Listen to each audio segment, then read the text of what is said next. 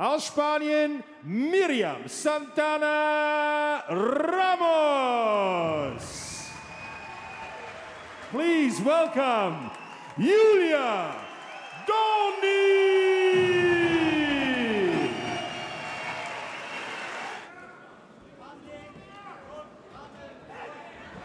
Trip Takedown und der gelingt auch.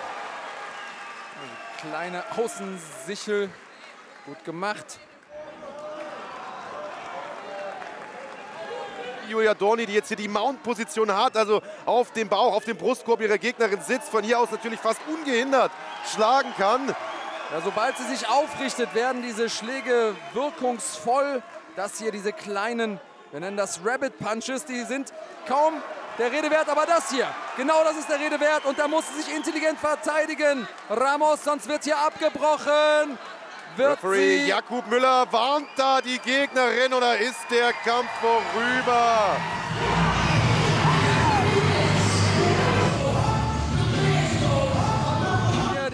Outside Trip Takedown und dann später saß Julia hier in der Mount, konnte sich aufrichten und diese Schläge, die waren gar nicht hart. Die meisten gingen auf die Deckung, aber es muss gar nicht so hart sein, sondern es reicht, wenn sich ein, einer der Kontrahentinnen nicht intelligent verteidigen kann.